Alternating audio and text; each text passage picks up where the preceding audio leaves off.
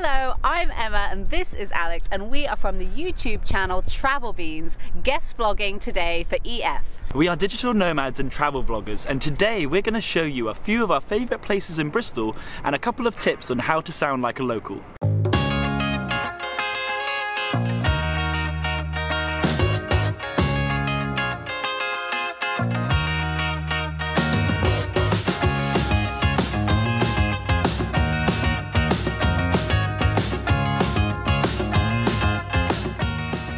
Bristol is located along the River Avon and is the gateway to the southwest of England, which is a beautiful part of the country to explore. The EF campus is located in one of the historic buildings right here in Queen's Square, which is in the thick of the action in Bristol City.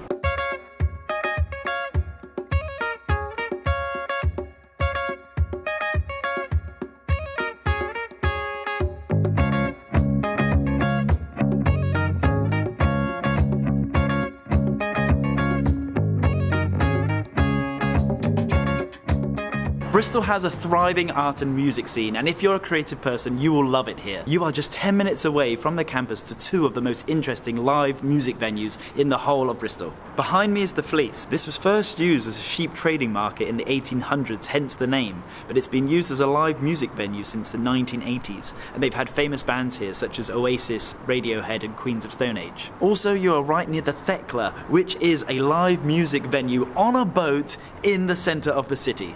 The was also well known for having a Banksy drawn on it. However, to protect this piece of artwork, they moved it to the M Shed where you can go and see it today for free. Banksy is a street artist, a political activist, and a filmmaker, and nobody knows who this guy is. His street art addresses political and social issues, and some of them have sold for up to a million pounds. A lot of people actually think Banksy is from Bristol because a lot of his earlier work can be found scattered around the corners of Bristol. Which brings me to where I am now, which is just in front of one of his pieces of work, The Girl with the Pierced Eardrum. One really great free thing to do in Bristol on a beautiful sunny day is to wander around the city trying to spot as many Banksies as you can. And if you want to be more efficient, you can even download an app for your phone which shows you where all of the Banksy artwork is. However, Banksy is not the only street artist to come out of Bristol. If you love street art, you have to go to Nelson Street because that is a great place to go and see some new art. If you're a food lover, then Bristol is going to be the place for you. It's a very multicultural city, so you can get basically anything that you can imagine. However, you can't come to Bristol without trying some traditional British food. British people love bakeries, and today I want to show you one of my favourite things. Don't let this grease put you off, because inside this bag is a very delicious treat. This is the English sausage roll. A sausage roll is pastry on the outside with sausage in the inside. It's a very salty and savoury snack. It's definitely not a healthy one, but arguably one of the most delicious.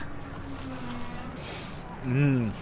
This is the first time I've ever been to this bakery and I can already highly recommend it to you. Make sure you go to the Artisan Bakery at Cargo 2. This is up there with one of the best sausage rolls I've ever had. What? This is fantastic. That is a very big claim. This boy has tried so many sausage rolls from so many places. Mmm. This one specifically has some very high quality meat and very, very good pastry. Definitely worth trying.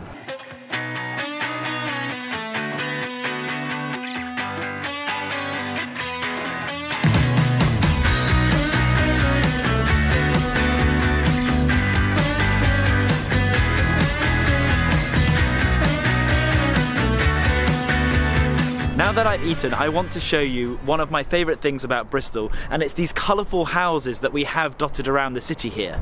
So I am born and raised in this area, and I think this is a great time to teach you a couple of expressions that will help you if you move here. The first word you need to learn when you come to Bristol is actually brizzle, which is another word for Bristol. It's how the locals affectionately call it here. The second word you want in Brizzle is lush. Lush means very pleasant. For example, that sausage roll was lush. Girt. Now, girt means very or big. For example, that was a girt sausage roll. You can even get bonus points by adding girt and lush together. So, this video is girt lush. and finally, the word proper. And in this use, we say proper means also good. So that was a proper sausage roll means that was a good sausage roll. This is a proper video means it's a good video.